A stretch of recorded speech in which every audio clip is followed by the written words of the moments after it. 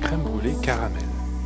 Donc normalement, on prend le sucre qu'on vient blanchir euh, avec nos jaunes d'œuf, on verse la crème liquide vanillée et ensuite on cuit au four ventilé euh, à 100 degrés pour faire coaguler nos jaunes d'œuf. Donc là, je vais procéder différemment pour avoir le goût caramel.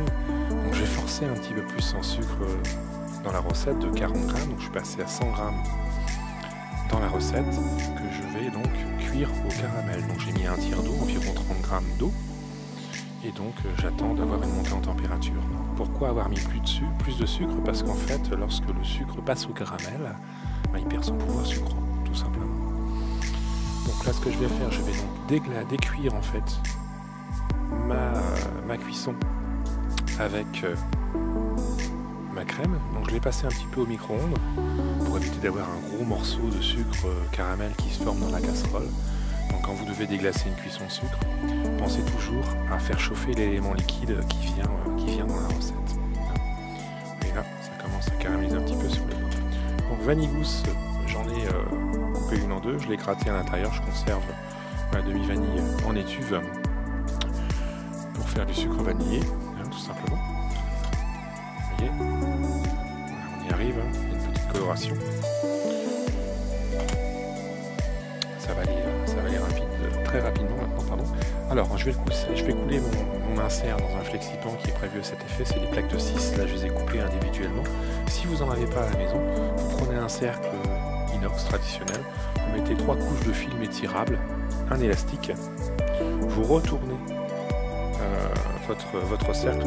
Par sécurité, si vous avez peur que ça fuit, normalement ça ne fuit pas. Vous pouvez le remettre dans un cercle plus grand, vous voyez hein si jamais l'élastique venait à casser, c'est maintenu.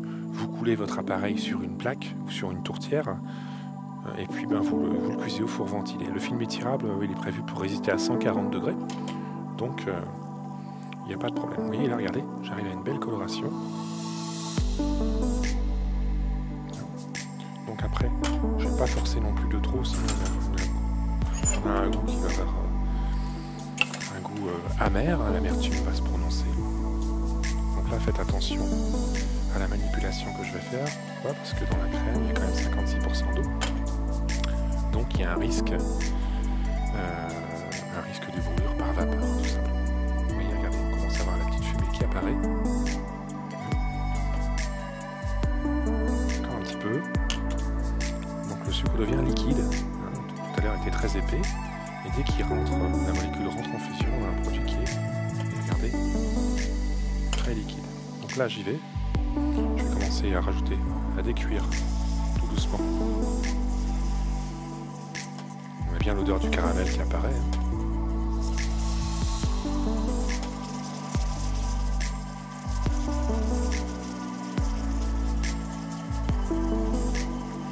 Et voilà, j'ai gardé le gaz un instant, mais je vais le couper.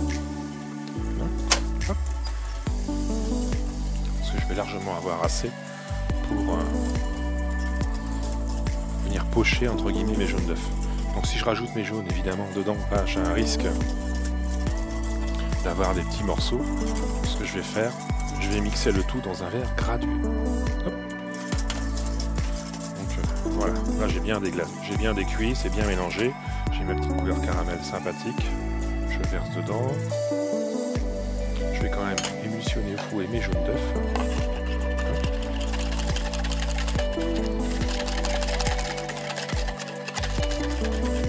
verse un petit peu ma préparation sur le dessus. Voilà.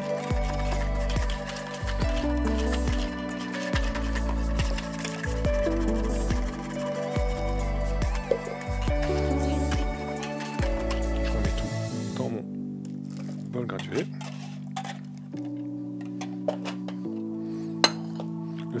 Petit coup de mixeur pour bien émulsionner.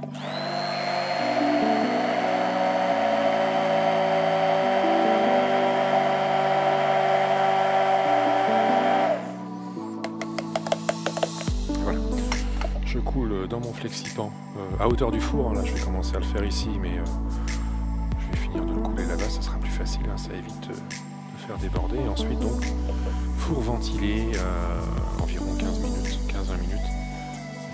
Vous allez, vous allez faut, faut ressentir l'effet tremblotant, un peu comme un flanc légèrement pris.